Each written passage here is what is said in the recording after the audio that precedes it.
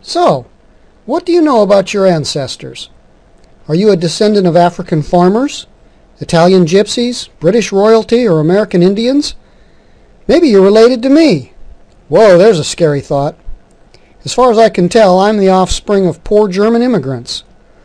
Although modern humans have been around for more than 50,000 years, I've had a hard time tracing my family tree back more than a few generations.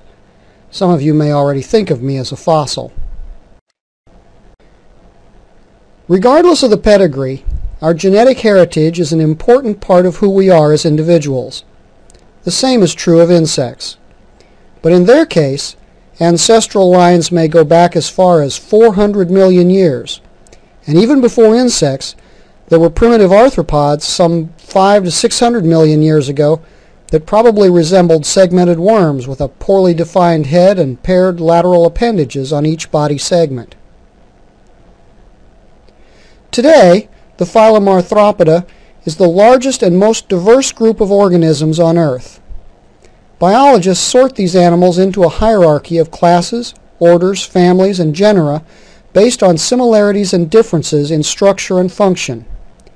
Members of a single family, or order or class, are believed to be more closely related to each other than to members of other families, or orders or classes. This hierarchical system of organization is the foundation of biological nomenclature. So regardless of whether you accept or reject the theory of evolution, it's important to learn the pattern of phylogenetic relationships that underlie the classification system and to recognize the assumptions that have been made about how the tree of life branched and grew. In the end, you will have a better appreciation for each group by learning how it has been shaped by the selective pressures of the past and how it differs from its nearest relatives of the present. So here's one guy's interpretation of the arthropod's tree of life. Pages 2 and 3 if you printed out your lesson outline. This scheme, published in 1979 by Bruce Boudreaux, is not necessarily right or wrong. It's just a working hypothesis. But it will serve as a good starting point for us to learn how and why biologists group arthropods into various classes and orders. We'll focus on the big picture and not worry about details. The tree starts at the bottom left and grows upward. When you get to class Insecta, go to the bottom of the right side where the tree continues branching into the orders of insects. That's the path I'll follow in explaining it to you.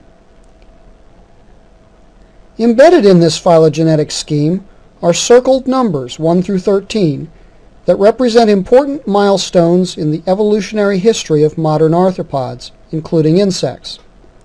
Each number corresponds to a new or improved physical characteristic, perhaps a mutation or a novel adaptation, that proved to have selective value and was passed on to succeeding generations.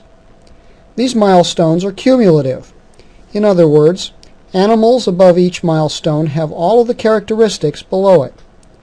For quick reference, the 13 milestones are listed here and also under Roman numeral 1 on your lesson outline.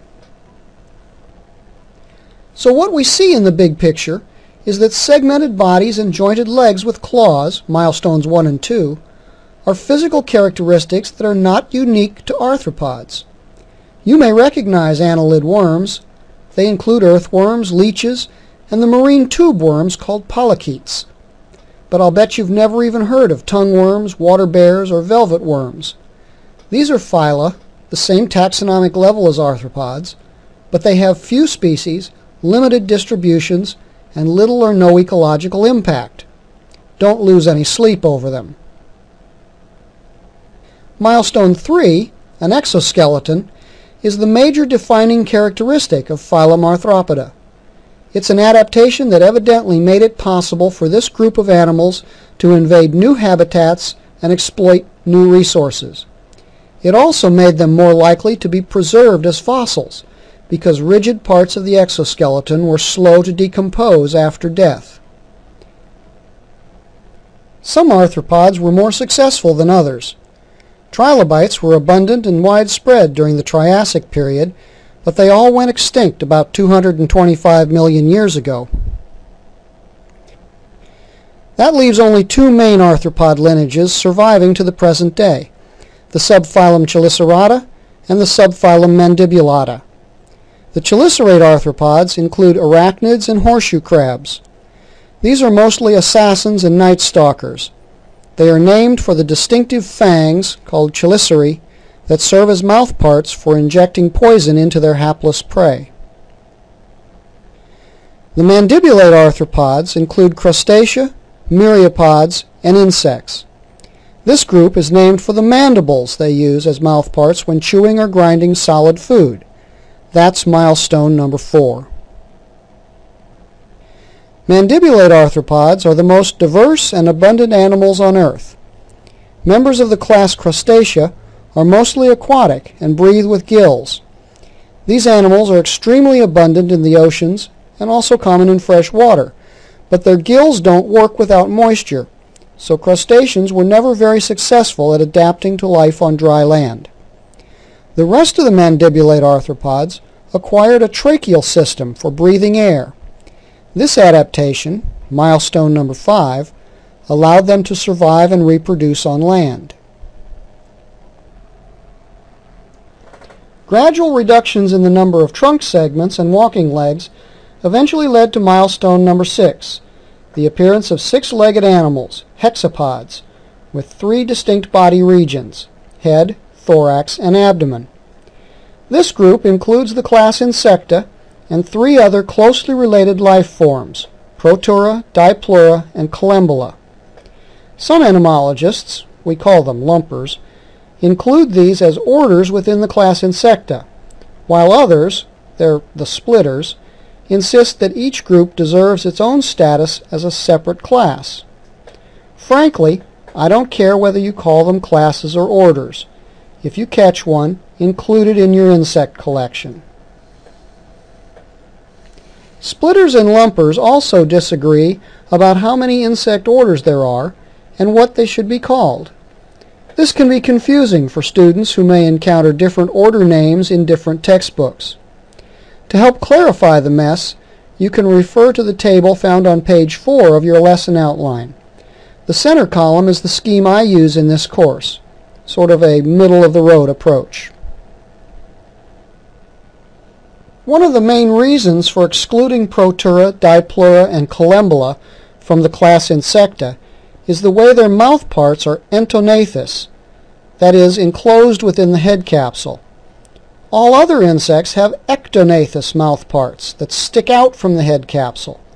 That's milestone number seven. If you're following along on a printed copy of the phylogenetic tree, it's time to turn to page 2. This is a continuation of the branch we were following on page 1.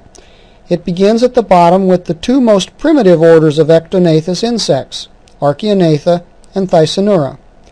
We consider these insects highly primitive for two reasons. One, they are apterygote. That means they are completely wingless. And two, they undergo no change or metamorphosis as they grow up. That's known as ametabolous development. The immature stages, called young, are similar in appearance to the adults, just smaller. Major innovations take place at milestones 8 and 9 in the phylogenetic tree. Here, the insects first exhibit gradual changes in body form as they mature. This is known as incomplete metamorphosis, and these changes lead to the presence of functional wings in the adult stage. Wing development is said to be exopterygote, meaning that wing buds form externally and gradually enlarge as the insect matures. The immature stages are called nymphs. They are visibly different in appearance from the adults. This is hemimetabolous development. Ephemeroptera and Odonata are the most primitive orders of hemimetabolous insects.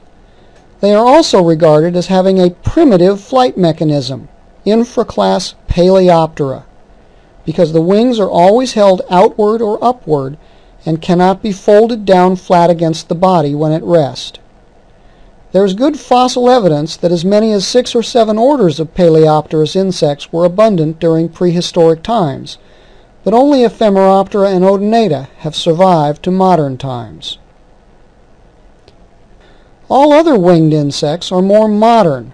They have a special hinge mechanism that allows the wings to fold down against the body when not in use. This adaptation, milestone number 10, helps protect the wings from damage. All insects with this new wing belong to the infraclass Neoptera. Judging from the abundance and diversity of Neoptera, wing folding must have given these insects a significant evolutionary advantage.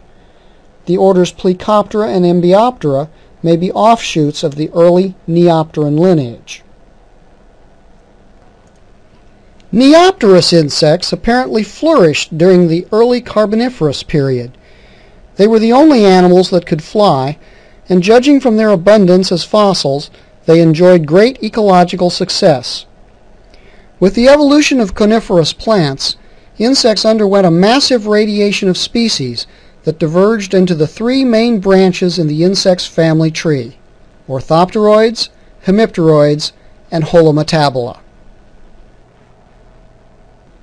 The orthopteroid line includes at least nine living insect orders that have remained relatively unspecialized. Blattodea, Isoptera, Mantodea, Orthoptera, Phasmatodea, Mantophasmatodea, Dermaptera, Grylloblattodea, and Zoraptera. These are mostly scavengers and herbivores. They have primitive mouth parts with mandibles for chewing or grinding solid food.